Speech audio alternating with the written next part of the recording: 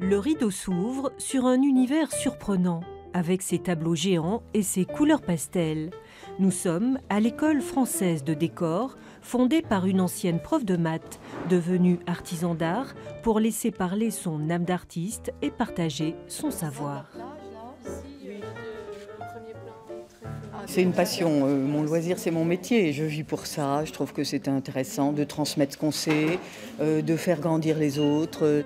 Spécialité de l'école, les techniques anciennes, telles qu'elles furent pratiquées tout au long de l'histoire de l'art, à partir de matières naturelles, comme les poudres de marbre ou les sables en tout genre. Le sable à construire, le sable à enduire, le sable fin, Bora Bora.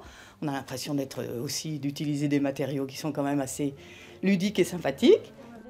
Et ce jour-là, c'est du fromage blanc qui est employé pour fabriquer la peinture associée à de l'huile de lin et à des pigments pour obtenir des couleurs et une substance originale. On a l'impression de mettre une crème un peu sur le mur. Et euh, en séchant, elle prend un ton tout à fait euh, euh, doux. Ça, ça, donne une unité très agréable.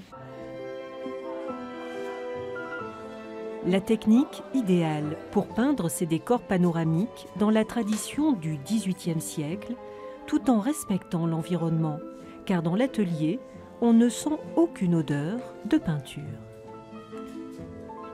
Pas de produits chimiques, euh, on ne peint pas avec du plastique, on va faire des choses qui vont tenir dans le temps, qui vont durer, et, euh, voilà, comme les anciens. Au total, une dizaine d'élèves, essentiellement en reconversion, après avoir exercé différents métiers, architecte, infirmière ou comptable. J'ai toujours peint. J'ai toujours peint et euh, j'ai eu envie, euh, la deuxième partie de ma vie, de réaliser mon rêve, travailler de ce que j'ai envie de faire. Je peux passer 10 heures euh, là, je vois pas le temps passer, je suis transformée, heureuse, détendue, voilà, au paradis.